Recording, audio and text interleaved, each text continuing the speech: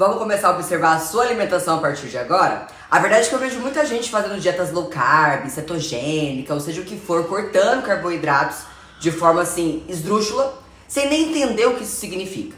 A verdade é que alguns anos pra cá, de uns 50 anos pra cá, aumentou-se muito o consumo de alimentos muito, muito ricos em farinhas e açúcar. Por exemplo, bolos, pães, biscoitos, refrigerantes, bebida alcoólica, doces no geral. E a grande questão é que é justamente o excesso desses alimentos que acaba sendo o problema da nossa alimentação. É muito mais fácil, é muito mais prático, são gostosos e eu sei disso. Longe de mim criar um terrorismo nutricional falando que esses alimentos, oh meu Deus, são um veneno. Não, eles não são. Talvez sim vão entrar de vez em quando na nossa vida, mas eu quero que você observe como que está na realidade a tua vida hoje. Porque a grande verdade é o seguinte: nós devemos priorizar na nossa alimentação como faziam lá os nossos antepassados. O que, que eles faziam? Pensa se a gente não vivesse no meio da civilização, da indústria tudo que a gente vive hoje. Como que a gente iria se alimentar? O que Deus fez. O que tem na terra, o que na natureza, todos os bichos, as plantas, os vegetais, as raízes, as castanhas, o leite, ovos.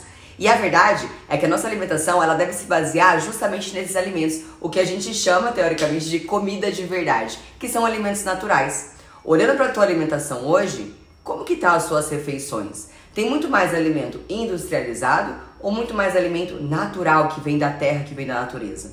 Vamos começar a fazer o seguinte a partir de agora? Você consegue reduzir o máximo possível os alimentos industrializados e substituir essas refeições por alimentos mais naturais, colocar mais frutas, iogurtes, vegetais, carne de todos os tipos, ovos, castanhas, laticínios se você tolerar bem, queijos, leite. Como que você pode melhorar e diminuir bolos, biscoitos, refrigerantes, doces? Você dá para começar a fazer isso a partir de agora?